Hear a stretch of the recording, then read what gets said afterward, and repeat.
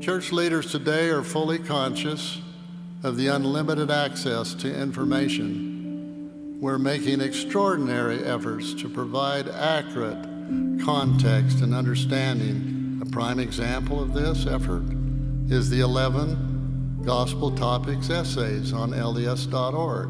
It is important that you know the content in these essays like you know the back of your hand. You should be among the first outside your students, families, to introduce authoritative sources on topics that will be less well known or controversial. So your students will measure whatever they hear or read later against what you have already taught them please, before you send them into the world, inoculate your students. Inoculate students who inoculate our young people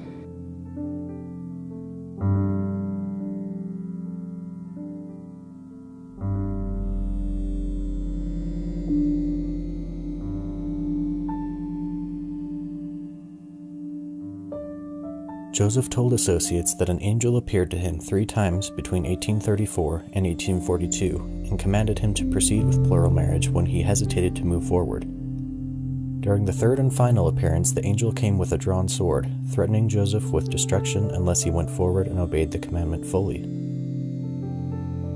The youngest wife was Helen Mar Kimball, daughter of Joseph's closest friends Heber C. and Vilate Murray Kimball, who was sealed to Joseph several months before her 15th birthday.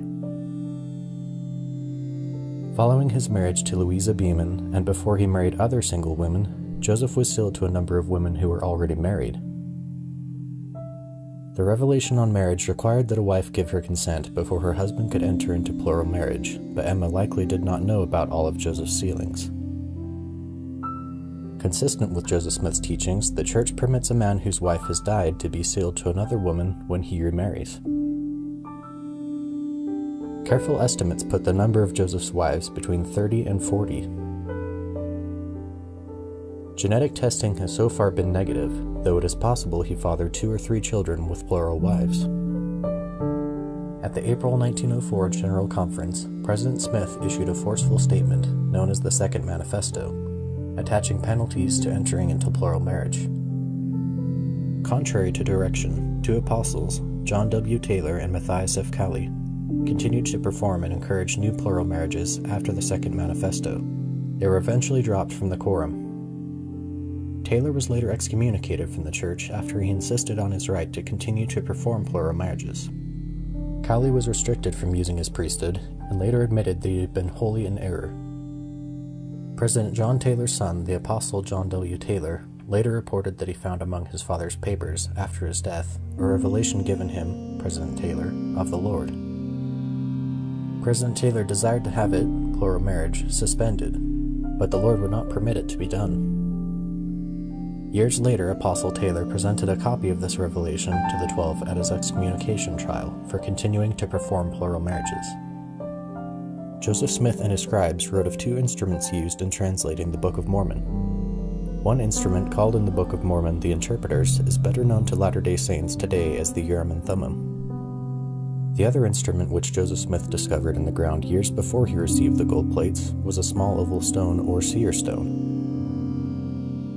As a young man during the 1820s, Joseph Smith, like others in his day, used a seer stone to look for lost objects and buried treasure. As Joseph grew to understand his prophetic calling, he learned that he could use the stone for the higher purpose of translating Scripture. Apparently, for convenience, Joseph often translated with the single seer stone rather than the two stones bound together to form the interpreters. According to these accounts, Joseph placed either the interpreters or the seer stone in a hat, pressed his face into the hat to block out extraneous light, and read aloud English words that appeared on the instrument. Emma described Joseph sitting with his face buried in his hat with a stone in it, and dictating hour after hour with nothing between us. According to Emma, the plates often lay on the table without any attempt at concealment, wrapped in a small linen tablecloth. Joseph Smith probably possessed more than one seer stone. He appears to have found one of the stones while digging a well in 1822. Joseph did not hide his well known early involvement in treasure seeking. In 1838, he published responses to questions frequently asked of him. Was not Joe Smith a money digger? One question read. Yes, Joseph answered, but it was never a very profitable job for him, as he only got $14 a month for it. Some have contended that the migrations mentioned in the Book of Mormon did not occur because the majority of DNA identified to date in modern native peoples most closely resembles that of Eastern Asian populations. The evidence assembled to date suggests that the majority of Native Americans carry largely Asian DNA. At the present time, scientific consensus holds that the vast majority of Native Americans belong to subbranches of the Y chromosome haplogroups C and Q14 and the mitochondrial DNA haplogroups A, B, C, D, and X, all of which are predominantly East Asian. The 2006 update to the introduction of the Book of Mormon states that Book of Mormon peoples were among the ancestors of the American Indians. The introduction previously stated that the Lamanites were the principal ancestors of the American Indians. For much of its history, from the mid 1800s until 1978, the Church did not ordain black men of African descent to its priesthood, or allow black men or women to participate in the temple endowment or sealing ordinances.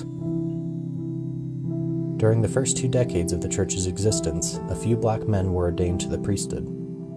There is no reliable evidence that any black men were denied the priesthood during Joseph Smith's lifetime. In 1852, President Brigham Young publicly announced that men of black African descent could no longer be ordained to the priesthood.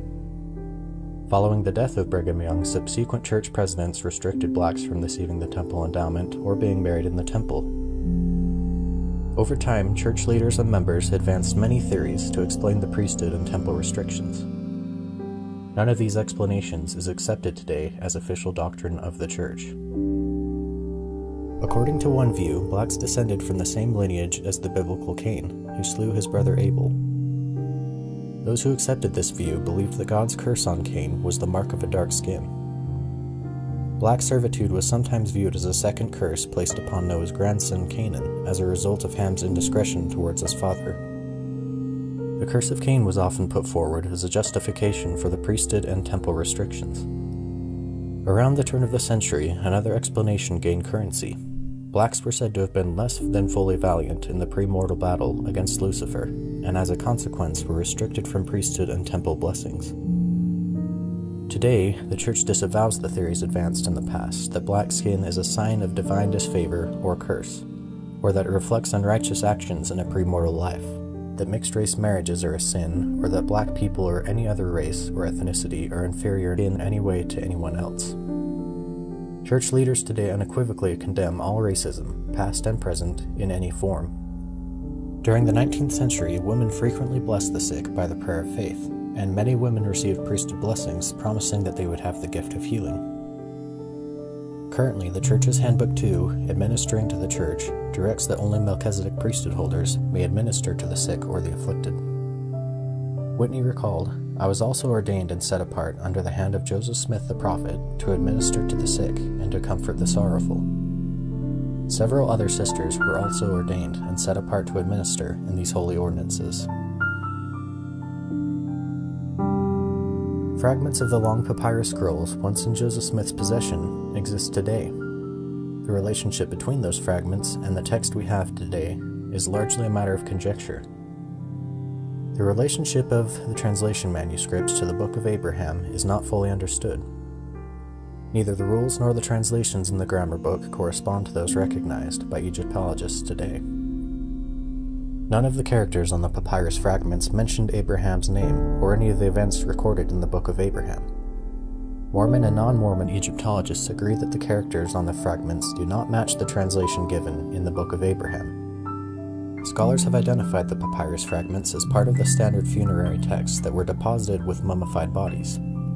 These fragments date to between the 3rd century BC and the 1st century CE, long after Abraham lived.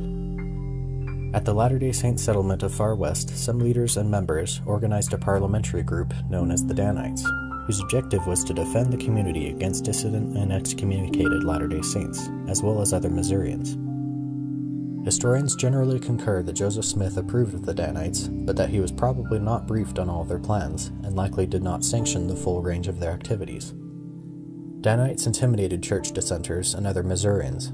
For instance, they warned some dissenters to leave Caldwell County, During the fall of 1838, as tensions escalated during what is now known as the Mormon Missouri War, the Danites were apparently absorbed into militias largely composed of Latter day Saints.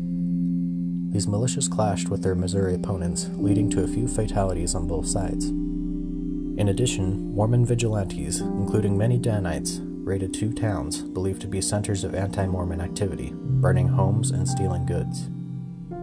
Latter day Saints mistreated and killed Indians in numerous conflicts, forcing them off desirable lands and onto reservations.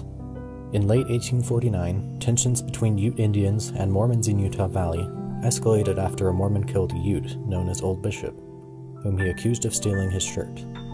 The Mormon and two associates then hid the victim's body in the Provo River. Governor Young authorized a campaign against the Utes. A series of battles in February 1850 resulted in the deaths of dozens of Utes and one Mormon. In these instances and others, some Latter day Saints committed excessive violence against Native peoples. Contemporaneous sources indicate that the number of Indians who died was between 24 and 40, though much later reminiscence places the death count among the Utes at around 100. Drawing on biblical passages, particularly from the Old Testament, leaders taught that some sins were so serious that the perpetrator's blood would have to be shed in order to receive forgiveness. Such preaching led to increased strain between the Latter day Saints and the relatively few non Mormons in Utah, including federally appointed officials. Intemperate preaching about outsiders by Brigham Young, George A. Smith, and other leaders contributed to a climate of hostility. Some Latter day Saints perpetrated acts of extralegal violence, especially in the 1850s when fear and tensions were prevalent in the Utah Territory. The heated rhetoric of church leaders directed towards dissenters may have led these Mormons to believe that such actions were justified. In early September 1857, a branch of the territorial militia in southern Utah, composed entirely of Mormons, along with some Indians they recruited, laid siege to a wagon train of immigrants traveling from Arkansas to California. Isaac C. Haight, a stake president and militia leader, sent John D. Lee, a militia major, to lead the attack on an immigrant company. Over the next few days, events escalated, and Mormon militiamen planned and carried out a deliberate massacre. They lured the immigrants from their circled wagons with a false flag of truce, and aided by Paiute Indians they had recruited, slaughtered them. Between the first attack and the final slaughter, the massacre destroyed the lives of 120 men, women, and children in a valley known as Mountain Meadows. Only small children, those believed to be too young to be able to tell what had happened, were spared. The militiamen sought to cover up the crime by placing the entire blame on local Paiutes, some of whom were also members of the church.